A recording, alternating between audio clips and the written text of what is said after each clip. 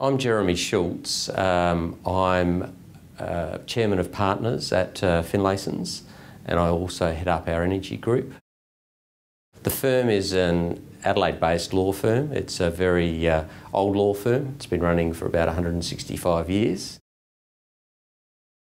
We've got practitioners that uh, specialise in corporate law, practitioners who specialise in property law, environmental, regulatory, disputes all come together around the energy work and the renewable energy work would probably be um, about half of our energy work um, at the firm.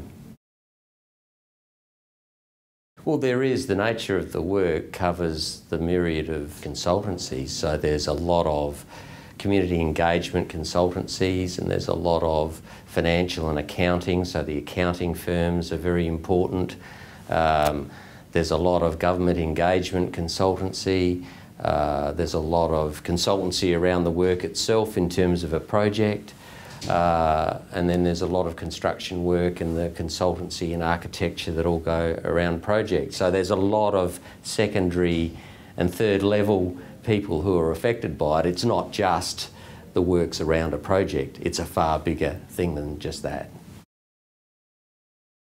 I would like to see a, what I'd call a reaffirmation of the target and its benefits rather than uh, a suggestion that somehow the target's uh, performing a poor purpose that some people seem to be harbouring.